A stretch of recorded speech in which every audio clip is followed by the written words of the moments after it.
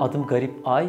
Yaklaşık 15-16 senedir Ebru ile uğraşıyorum. Ebru'yu şöyle tanımlayabiliriz aslında. Eski dilde ab su demek, ru ise yüz demek.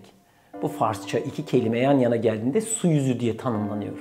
Yani siz suyun üzerine bir şey yapmaya çalıştığınız zaman aslında Ebru tekniğini uygulamış oluyorsunuz.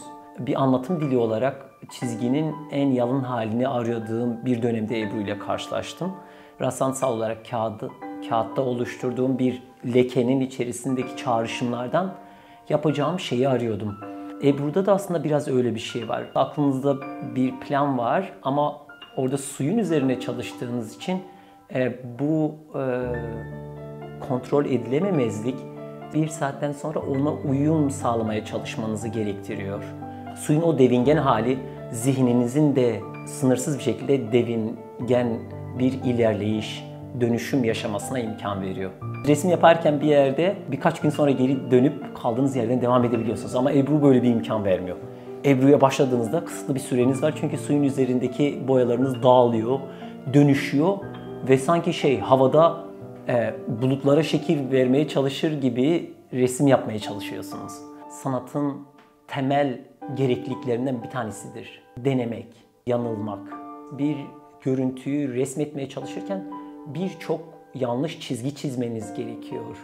Doğru çizgiye yaklaşabilmeniz için. İşte klasik sanatlarda pek insanların bu lüksü olmuyor.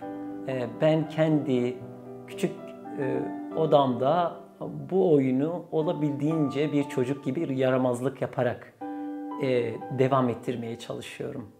Yaramazlık ismi üzerinde birçok yanlış şey yapabilir e, ama daha fazla çalışma aşkı edinme e, lüksü de getiriyor.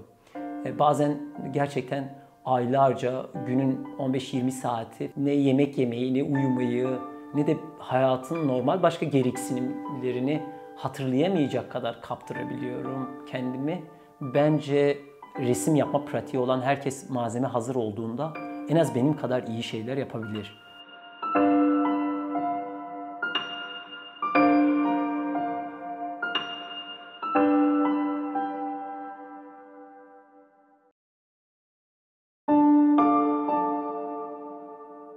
Adım Garip Ay.